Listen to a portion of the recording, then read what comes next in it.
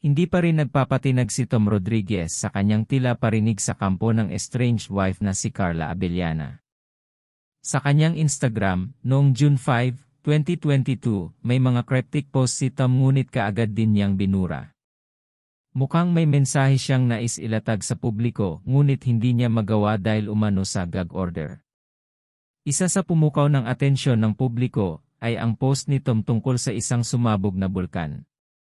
Sa caption ay isang matalinhagang tula ang ibinahagi ng aktor. Pero pagkalipas lamang ng ilang sandali ay binura rin ito kaagad ni Tom sa kanyang timeline.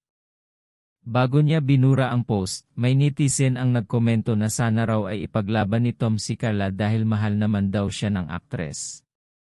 Ayon sa commenter, hopefully, you will fight for Angeline. Ipaglaban mo siya, Paps.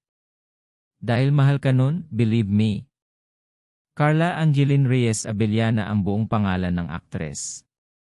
Diretso itong sinagot ni Tom na wala itong katotohanan. Katiting lamang daw ang alam ng publiko tungkol sa kabuuan ng istorya nilang mag-asawa. Umaasa raw siyang darating ang araw na mananaig din ang katotohanan. Ania, not true. And you all know a tiny fraction of an entire story. But one day, the whole truth will prevail. May isa pang netizen na sumagot sa thread na ito sa post ni Tom.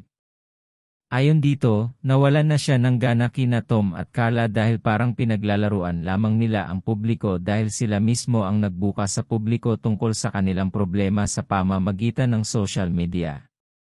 Saad ng netizen, true. It's like they're just seeking attention. I used to like Tom but now I'm disappointed. They have their platforms to clear whatever issues they have. They can't just say it's private cause they made it public in the first place.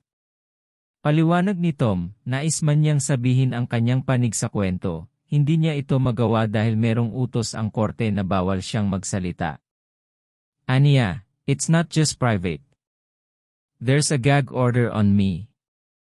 I can't speak my truth. Ang gag order, na sinasabi ni Tom ang tila kumpirmasyon sa balitang umuusad na ang annulment case na isinampa ni Carla laban sa kanya upang mapawalang bisa ang kanilang kasal. May ibinahagi rin si Tom sa kanyang Instagram story na isang mukha ng lalaki na may masking tip ang bibig.